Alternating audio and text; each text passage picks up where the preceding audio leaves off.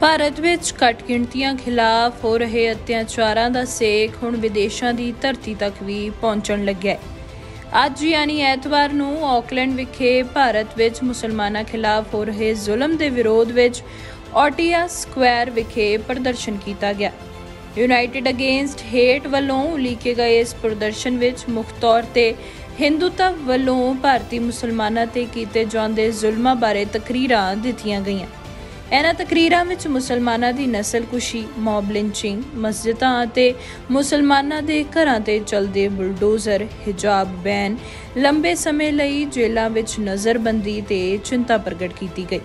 ਇਸ ਤੋਂ ਇਲਾਵਾ ਜੈਨੋਸਾਈਡ ਵਾਚ ਵੱਲੋਂ ਭਾਰਤੀ ਮੁਸਲਮਾਨਾਂ ਲਈ ਜਾਰੀ ਕੀਤਾ ਗਿਆ ਜੈਨੋਸਾਈਡ ਐਮਰਜੈਂਸੀ ਅਲਰਟ ਬਾਰੇ ਵੀ ਬੁਲਾਰਿਆਂ ਨੇ ਕਈ ਤਕਰੀਰਾਂ ਦਿੱਤੀਆਂ।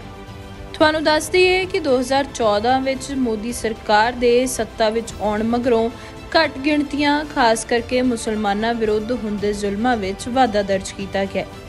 ਭਾਰਤ ਵਿੱਚ ਸੀਏ ਨੂੰ ਲਾਗੂ ਕਰਨਾ, ਆਰਟੀਕਲ 370 ਨੂੰ ਹਟਾਉਣਾ, ਬਾਬਰੀ ਮਸਜਿਦ ਨੂੰ ਢਾਉਣਾ, ਬੁਲਡੋਜ਼ਰਾਂ ਨਾਲ ਗਰੀਬਾਂ ਅਤੇ ਘੱਟ ਗਿਣਤੀਆਂ ਦੇ ਆਸ਼ੀਆਨਿਆਂ ਨੂੰ ਢਾਉਣਾ, ਅਜਿਹੀਆਂ ਬਹੁਤ ਸਾਰੀਆਂ ਘਟਨਾਵਾਂ ਘੱਟ ਗਿਣਤੀਆਂ ਖਿਲਾਫ ਵਧੀਆਂ ਨੇ bureau report NZ Punjabi news